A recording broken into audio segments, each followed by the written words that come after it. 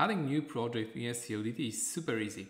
Just click the Add Project button here and type the domain, click Next Step, and here you can add uh, your keywords to the rank tracker to track those keywords in daily basis manually, or you can add those keywords uh, automatically. Seodity will find those keywords for this specific web page just clicking this button and you can click again.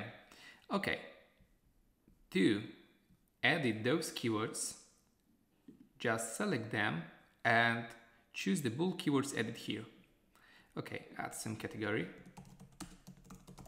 and click create.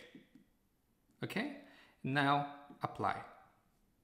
Like you can see, this category is uh, now added to the three keywords. You can also import keywords from, for example, Google Search Console. To do that, click import keywords here. You can paste or you can upload from the file. Just click the file, okay. And select the column.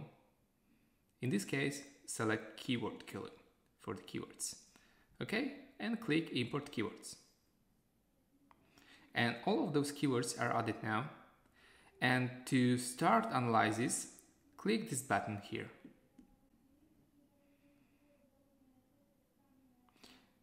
And your project is added now. Thank you so much. Bye bye.